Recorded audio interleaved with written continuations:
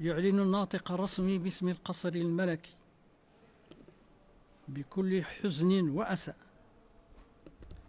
انتقال صاحبة السمو الملكي الأميرة للا لطفة إلى عفو الله ورحمته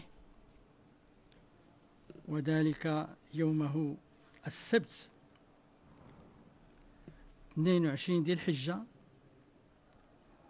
1445 هجرية الموافق ل 29 يونيو 2024 ميلادية. حرم المغفور له جلالة الملك الحسن الثاني طيب الله مثواه ووالدة صاحب الجلالة الملك محمد السادس نصره الله وأيده وأطال عمره